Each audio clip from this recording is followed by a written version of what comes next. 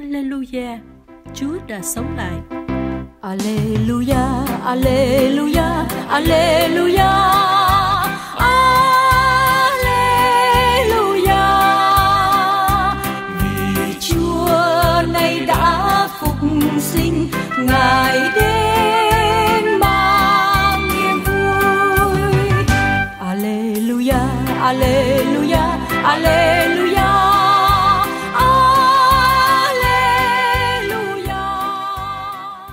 Kính thưa quý vị độc giả và thính giả, Chúa đã sống lại. Hallelujah! Hòa trong niềm vui cùng toàn thể giáo hội, ban biên tập và các thành viên của Vatican News tiếng Việt xin được gửi đến quý vị lời chúc mừng phục sinh. Nguyện xin ân sủng, tình yêu, niềm vui và bình an của Đức Kitô phục sinh hằng ở cùng quý ông bà và anh chị em. Cứ mỗi năm chúng ta đều có một khoảng thời gian đặc biệt để được sống và được thông phần vào mầu nhiệm thập giá và phục sinh của Đức Giêsu Kitô. Năm nay, trong hoàn cảnh khó khăn gây ra bởi đại dịch Covid-19, Chúa lại cho chúng ta nhiều cơ hội để sống những mầu nhiệm này một cách thật đặc biệt hơn nữa. Là những người dấn thân trong sứ mạng truyền thông của giáo hội, chúng con xin hết lòng tạ ơn Chúa vì ơn an ủi mà Ngài đã ban cho chúng con trong suốt thời gian qua. Và một trong những nguyên do của ơn an ủi này đến từ sự đồng hành, sự theo dõi và sự chung tay bằng nhiều cách của quý vị. Chúng ta đã cùng nhau đi qua nhiều biến cố đặc biệt trong thời gian mùa chay và tuần thánh năm nay. Cùng nhau, chúng ta được sống những thánh lễ, những buổi phụng vụ trực tuyến được cử hành từ giáo đô Roma.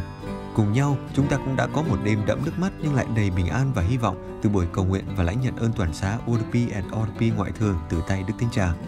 Cùng nhau trong suốt tuần thánh, chúng ta đã sống tuần tĩnh tâm online với những điểm gợi ý cầu nguyện về cuộc tương khó của Chúa Giêsu. Khi hoàn cảnh không cho phép chúng ta tay bắt mặt mừng và vui với những niềm vui quen thuộc, Vatican News tiếng Việt ước mong có thể là một kênh nối kết để mọi người từ khắp nơi cùng nhau hát vang Hallelujah, Chúa đã sống lại.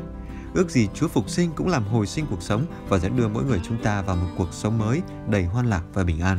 Hallelujah, Hallelujah. Alleluia, Alleluia, Alleluia. Alleluia.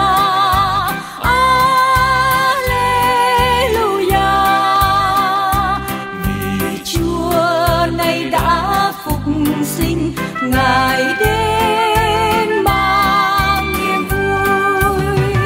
Alleluia, Alleluia, Alleluia.